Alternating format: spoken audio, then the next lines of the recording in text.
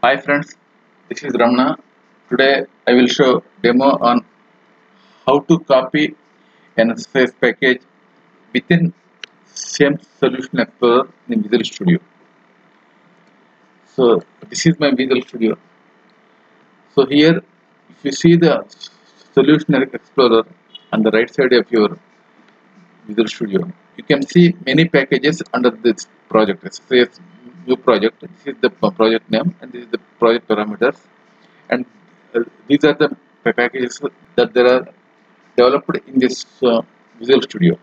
Now here I want to copy the same package. So I want to copy the same package in the and paste it and place it in the same solution explorer.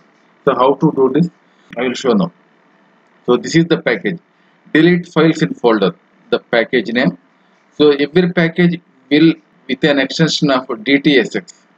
So if you want to package this package, just right click and copy or control C and just paste. Paste means you just control V. See here. I just make the control V shortcut key. See here. Earlier we don't have delete files folder 1. Only delete files in folder is there. Now after copy and paste it in the same uh, solution explorer. So I got this uh, new package with one with one because uh, delete files in folder is already existing name for the package. So it is not possible to um, having the same name to create the another package. That is why it will take the name, but it will give the extension with one. And as, as usual, for every package, it is dot .dsx dtxx. It will also the new copied package also have the same extension. If you want to open, so whatever the tasks and whatever the connection strings you have in the delete files and folder, the same connection tasks and same data flow transformations appear in this. So here it's the um, file system task. So here you find delete files in folder 1. This is also get the file system task.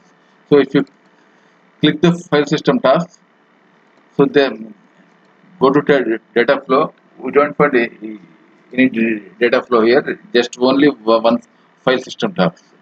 So this is how you need to copy the same package and paste it in same solution explorer just by clicking the um, copy and paste it with control V shortcut keys so that it will place just mm, before the original package.